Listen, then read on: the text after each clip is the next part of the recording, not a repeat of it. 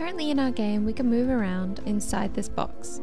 We can also jump outside our walls. First of all, I'm going to go into our scene and draw some walls around all the edges. Just make it like a box so our player can't get out.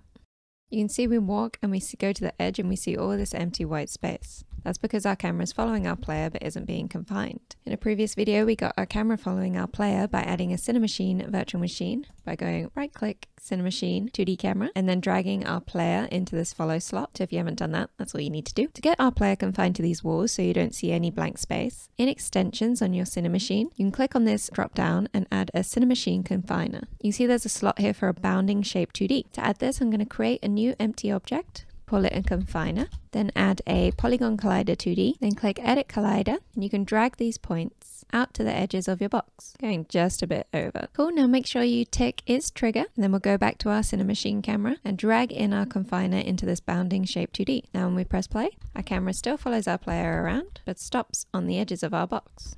If this feels a bit too rigid for you and you want it to have a little give when we reach the edges, on our Cinemachine Confiner we have a dampening slider. If we set this to like 1 and press play, you can see now the camera gives a little and then snaps back to our confined area. This gives the game a little more flow, but it's up to you the kind of feel you're going for.